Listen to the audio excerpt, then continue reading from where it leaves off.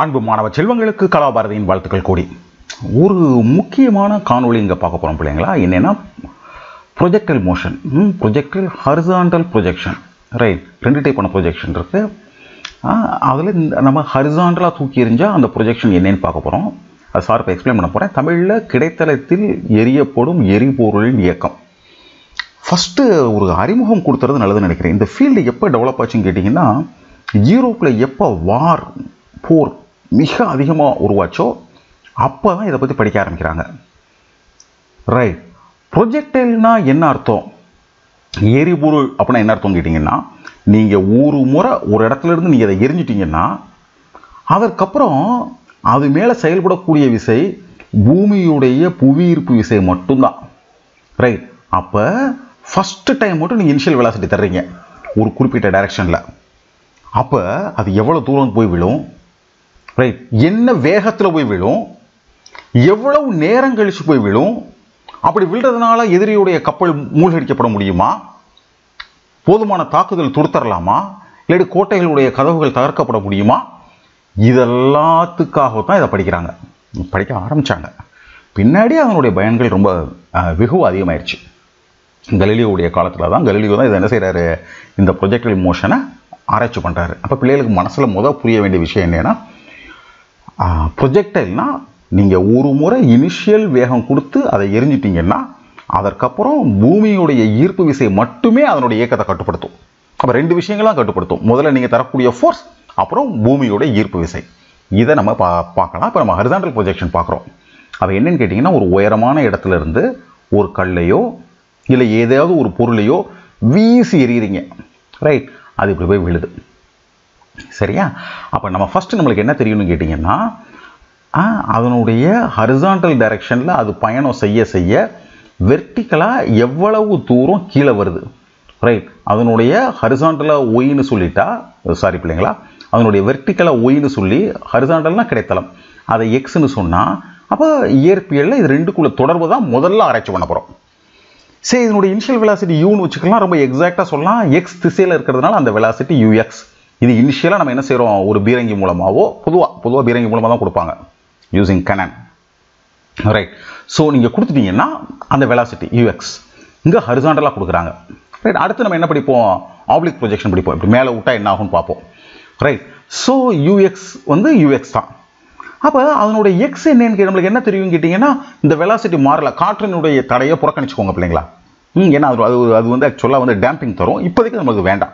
Higher லெவலில் படிச்சுக்கலாம். Right so distance நம்மளுக்கு என்ன தெரியும் கேட்டிங்கன்னா ஓகே நம்மளுக்கு தெரியும் s is equal u t plus half a t a t பல படிச்சிருக்கோம். இங்கே ஹரிசான் டைரக்ஷனில் அதுக்கு ஆக்சலரேஷன் இருக்கிறதுக்கு வாய்ப்பே இல்லை. யாரும் ஃபோர்ஸே தரல. So s is equal to u t தான். அது இங்கே எப்படி எழுதுறோம்னா x is equal to u x t இப்படின்னு எழுதுகிறோம் வெர்டிக்கல் டைரக்ஷனை பொறுத்த வரைக்கும் புவியீர்ப்பு விசை மட்டும்தான் செயல்படுது. ரைட் ஸோ அப்போ இந்த ஈக்குவேஷனில் அங்கே பார்த்தோம் இல்லையா? S is UT plus half AT ஸ்கொயரில் வந்து அதனுடைய ஆரம்பத்தில் இருக்கக்கூடிய மேலே இருக்கக்கூடிய தட் இஸ் வெர்டிக்கல் டைரக்ஷனில் யூஒய் ஜீரோ அப்போ இது ஜீரோவாயிரும் so y is equal to half g t square ஏஜியாக மாறிடும் நான் இந்த ரெண்டு ஈக்குவேஷனை பாருங்கள் ரைட் ரெண்டு ஈக்குவேஷனை பார்த்தீங்கன்னா இதுவும் இன் டேர்ம்ஸ் ஆஃப் டி இருக்குது இதுவும் இன் டேர்ம்ஸ் ஆஃப் டி இருக்குது ஆனால் நமக்கு எக்ஸுக்கும் ஒய்க்கு உள்ள ரிலேஷன் வேணும். ஸோ என்ன பண்ணுறேன் கேட்டிங்கன்னா இந்த டி நான் என்ன செஞ்சிடறேன்? இந்த எக்ஸ்லேருந்து கண்டுபிடிச்சிடறேன். So t is equal to x divided by u x இந்த வேல்யூவை கொண்டு வந்து இங்கே சப்ஸ்டியூட் பண்ணுறேன் அப்போ என்ன ஆகும்? One by two g into x divide by u x whole ஸ்கொயராக மாறிடும். இந்த ஈக்குவேஷனை நீங்கள் ஒழுங்கு பண்ணிங்கன்னா one by two g divided by u x square into x square இதில் பார்த்தீங்கன்னா g constant one constant two constant u x constant இவங்க எல்லாரும் கான்ஸ்டன்ட் ரைட் அப்போ நான் இவங்க எல்லாரும் கேங்கிறத வச்சு ரீப்ளேஸ் பண்ணிவிட்டு நான் என்ன செஞ்சிடலாம்? Y is equal to k x square இப்படின்னு எழுதிடலாம். இந்த ஈக்குவேஷன் நான் ரொம்ப து இங்கே சில அப்ராக்சிமேட் பண்ணேன். அப்ராக்சிமேட்னா சிம்பிள் ஆக்கியிருக்கேன். உண்மையில் ஜி மைனஸில் இருக்கும். பிள்ளைகளுக்கு என்ன தெரியணும்னா y is equal to x ஸ்கொயருங்கிறது ஒரு பேரபலாவோட ஈக்குவேஷன் இப்படி இருக்கும். ரைட் இங்கே உண்மையில் கே மைனஸோடைய வேல்யூவில் இருக்கும். ஏன்னா ஜி என்னவாக இருக்குது இட் இஸ் மைனஸ் ஸோ அதனால் இந்த ஈக்குவேஷன் எப்படி இருக்குன்னு கேட்டிங்கன்னா இப்படி இருக்கும். இந்த இடத்துல நம்மளுக்கு வராது. ஸோ ஈக்குவேஷன் இதுக்கு அப்படியே இன்வெர்ஸ் இதுக்கு இந்த ஈக்குவேஷன் அப்படியே இன்வெர்ஸ் அதுதான் பிள்ளைகள் அந்த ஈக்குவேஷன் இது இப்படி வர்றதுக்கான காரணம் இதுதான். எக்ஸ்க்கும் ஒய்க்கு உள்ள தொடர்பு. அதாவது ஹரிசாண்டல் எவ்வளோ டைரக்ஷன் மூவ் ஆச்சுன்னா வெர்டிக்கலாக எவ்வளோ வருது கீழே வருதுங்கிறதுக்கான equation y is equal to k x square இது பேசிக்ஸ் ஒன்ஸ் இந்த அண்டர்ஸ்டாண்டிங் இருந்தால் நமக்கு விருப்பமான ஒன்றொன்னையாக நம்ம நம்ம ஆராய்ச்சி பண்ணலாம். ஃபார் எக்ஸாம்பிள் ஃபஸ்ட்டு விருப்பம் டைம் ஆஃப் ஃப்ளைட் எவ்வளோ நேரம் இது பறக்கும்? எவ்வளோ நேரம் பறக்கும்? மேலேருந்து கீழே விழுற நேரம் பறக்கும். ரைட் ஸோ அவனோட உயரம் ஹெச்னு வச்சுக்கோங்க. அப்போ என்ன ஆகும் s is equal to u t plus half a t ஸ்கொயரில் இந்த இது என்ன ஆயிரும்? ஜீரோ ஆயிரும். ஏன் ஜீரோ ஆயிரும். கீழே விழுறதுக்கு ஆரம்ப வேகம் இல்லை. இனிஷியலாக ஒயர that is vertical velocity zero so s ஒய்யா மாறிடும். Y is equal to one by two g t square ஒய்ங்கிறது தான் h so h is equal to one by two g t square so இங்கேருந்து நீங்கள் டீயை கண்டுபிடிச்சிடலாம். T is equal to root of two h by g meaning t square is equal two h by so t என்ன செஞ்சிடலாம்? இதுக்கு பேர் டிஎஃப்னு சொல்லுவாங்க. Time of light இவ்வளவு நேரம் பறக்கும். அப்போ என்ன அர்த்தம் கேட்டிங்கன்னா இவ்வளோ நேரம் அது ஆக்சுவலாக கீழே விழு பொருளை போட்டால் அது கீழே விழுறதுக்கு இவ்வளோ நேரம் ஆகும். இவ்வளவு நேரம் அது முன்னாடியே போய்கிட்டு இருக்கும். அதுக்கு பேர் ரேஞ்சு பிள்ளைங்களா. அதுதான் இது முக்கிய எரிபொருளில் மிக முக்கியமான இது இதான். எவ்வளோ தூரம் தள்ளி நம்ம எதிரியை தாக்க முடியும்? அப்படி தான் படித்தாங்க ரைட் தமிழில் கிடைத்தல நெடுக்கம். அப்போ என்ன தெரியும்? இவ்வளோ டைம் தெரியும்.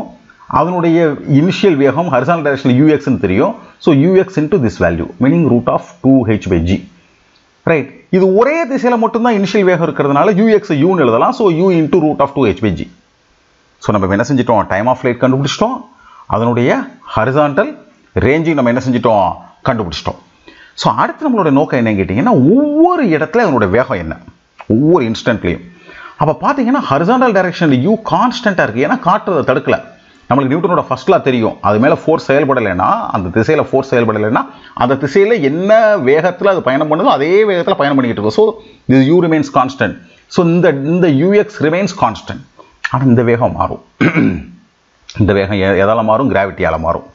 ரைட் ஸோ நான் என்ன செய்கிறேன் அப்போ இது வந்து வெக்டாராக மாறிடுச்சு. So resultant velocity v is equal to v x of t plus v y of t நான் அதை வந்து v is equal v x plus v ஒய்னு எழுதுறேன். Meaning v x of t v y of t இது constant right so இது constant i திசையில் இருக்கிறதுனால u i போடுறேன். Right இங்கே நம்மளுக்கு ஆக்சலரேஷன் ஜீன் தெரியும். ஸோ வெலாசிட்டிக்கும் ஆக்சலரேஷன் உள்ள ரிலேஷன் பிள்ளைங்களுக்கு தெரியும். Acceleration is equal to d v by d t right so v by t சரிங்களா? ஸோ அப்போ velocity is equal acceleration into d t acceleration into t acceleration இங்கே g so g t into j சரியா பிள்ளைங்களா இதில் ஆனால் இன்னொரு விஷயம் கவனிக்கணுங்க. நான் ப்ளஸ் போட்டிருக்கேன். நுட்பமாக நான் சொல்கிறேன்னா மைனஸ் தான் போடணும். ஏன் இங்கே ப்ளஸ் போடுறேன்னா இங்கே ரெண்டு திசை தான் இருக்குது ஒன்று இந்த டைரெக்ஷனில் இருக்கக்கூடிய மோஷன் இன்னொன்று இந்த டைரெக்ஷனில் இருக்கக்கூடிய மோஷன் சப்போஸ் மேலேயும் போச்சுன்னா அங்கே மைனஸ் கண்டிப்பாக போடணும். ஒரு திசையில் இருக்கிறதுனால அந்த திசையை நம்ம ப்ளஸ்ன்னு வச்சுக்கலாம். நம்ம ஆப்ஷன் தானே? ரெஃபரன்ஸ் வைக்கிறது நம்ம ஆப்ஷன் தானே? ஸோ இப்படி வச்சுக்கிறோம். இதுலேருந்து நம்ம என்ன கண்டுபிடிச்சிடலாம்னா இன்ஸ்டன்டேனியஸ் வெலாசிட்டி கண்டுபிடிச்சிடலாம். ரைட் இன்ஸ்டன்டேனியஸ் வெலாசிட்டிங்கிறது என்னது? இதனுடைய மாடுலஸ் நம்மளுக்கு தெரியும் any vector x i plus y j அப்படின்னா அவனுடைய மாடுலஸ் வந்து x square plus y square root so இங்கே u square plus g square t square இப்படி சொன்னீங்கன்னா v x square plus v y ஸ்கொயருக்கு root u square plus g square t square இதனுடைய வேகம் தெரிஞ்சு போச்சு. நமக்கு மிக முக்கியமானது என்னென்னா கீழே விழும்பொழுது என்ன வேகத்தில் இருக்கும்? அங்கே தானே தாக்குதல் நடக்கும். நடக்கும். அப்போ என்னென்னா இந்த டீயை நம்ம என்ன சப்ஸ்டியூட் பண்ணணும்? இந்த இருக்கு இல்லையா? அங்கே கண்டுபிடிச்சோல்ல இந்த டைம் இவ்வளோ நேரம் பயணம் பண்ணதில் இந்த டைமை சப்ஸ்டியூட் பண்ணணும். ரைட் இதான் T time of flight so அதை சப்ஸ்டியூட் பண்ணால் இது எதாவது மாறும்? U square plus G square into two into H by G யார் யார் கேன்சல் ஆயிடுவாங்க ஜிஜி ஜியும் ஜி ஸ்கொயரில் இருக்கக்கூடிய ஸ்கொயரும் கேன்சல் ஆயிரும். This means u square plus two g h so இப்போ பிள்ளைகளுக்கு என்ன தெரியணும்னு கேட்டிங்கன்னா இந்த மெத்தடு புரிஞ்சுக்கணும். முடிஞ்ச அளவுக்கு சாருடைய ரெக்வஸ்ட் என்னென்னா ஃபார்முலாவை மனப்பாடம் பண்ணாமல் இருக்கிறதுக்கு முயற்சி பண்ணுங்கள் அதே நேரத்தில் பல முறை பயிற்சி பண்ணுங்கள் இந்த டெரிவேஷன் செஞ்சு செஞ்சு செஞ்சு. டக் டக்குன்னு சொல்ல முடியணும். என்ன சொல்ல முடியணும்? ஓ எக்ஸுக்கு ஒய்க்குள்ள relation y is equal k square k is equal to இந்த value one by two into g W x square time of flight கண்ணை முடிச்சு சொல்லணும் root of two h by g right horizontal range u into root of two h divide by g அதே மாதிரி அதனுடைய விழும்பொழுது அதனுடைய வேகம் root of u square plus two g h எப்படி ஞாபகத்தில் வச்சுக்க முடியும்னு கேட்டிங்கன்னா ஒரு நான்கு ஐந்து முறை இதை நீங்கள் என்ன நோட்டில் எழுதிட்டீங்கன்னா அப்புறம் என்ன செய்ய மாட்டோம்? கண்டிப்பாக மறக்க மாட்டோம். சந்தேகம் இருந்ததுன்னா கமெண்ட் பாக்ஸில் சாருக்கு தெரியப்படுத்துங்க. உங்கள் அனைவருக்கும் கலாபாரதியின் அன்பு வாழ்த்துக்கள் பிள்ளைகளா.